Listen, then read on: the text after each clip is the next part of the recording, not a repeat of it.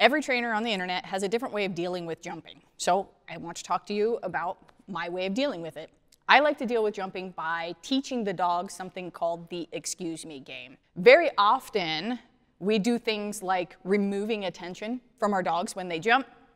And the moment that they put their feet back down on the floor, we turn back around and we give them attention. Or they jump all over our kids, we grab on their collar, we tell them, no, don't do that. They put four feet back on the floor and the kids pet them. In my opinion, what this winds up creating is a pattern where the dog says, I jump, I get told to get back down, and then I get attention. So the pattern starts with I jump, and the pattern ends with I get attention. And that's when we run into an issue where we feel like we're working on jumping all the time, but the dog's not getting any better at jumping. So what I like to do is I like to teach dogs the excuse me game, meaning that in order to get any type of engagement or attention from us, the dog needs to approach correctly, meaning it needs to approach with four on the floor, right? It needs to approach without jumping. If the dog says, well, I'm not not going to approach that way. I'm not going to say, excuse me, and I'm just going to jump. My response is I'm going to correct the dog. I'm usually going to pull on the leash, tell them no, have them go back to four on the floor. And I tell my clients and I tell my staff and I tell everyone involved,